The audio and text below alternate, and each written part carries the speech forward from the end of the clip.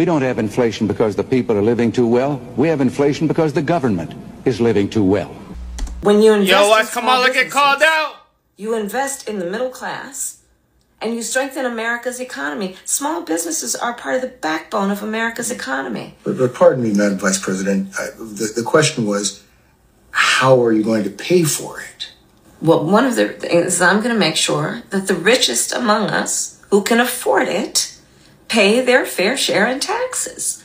It is not right that teachers and nurses and firefighters are paying a higher tax rate than billionaires and the biggest corporations. But- and but- I plan on making that fair. But we're dealing with the real world here. But the real world includes how are you going to get this through Congress?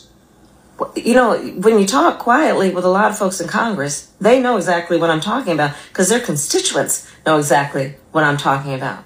Their constituents are those firefighters and teachers and nurses. Yo, so we back in here for another edition F Your Mother. That was Vice President Kamala Harris getting cooked by, I think it was a host on 60 Minutes, Bill Whitaker. He was cooking her ass. She had nowhere to go. And I know she said something that sounds sweet, right? The constituents, they are of people in Congress or teachers and firefighters, and that don't mean shit. And no, they not. She's lying through her teeth. When you, when you put her on the spot, she can't stand the pressure. You know what I'm saying? Anybody at this particular point in life, why you would vote for her is beyond me. Like, she's not even a convincing liar. In any event, if y'all like this episode, you know what to do, and I'm out.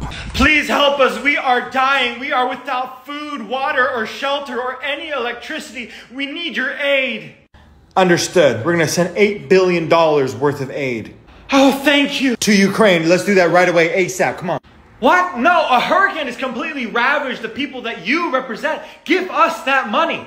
Oh, don't worry. We're going to give you money. Every single one of you is getting $750. No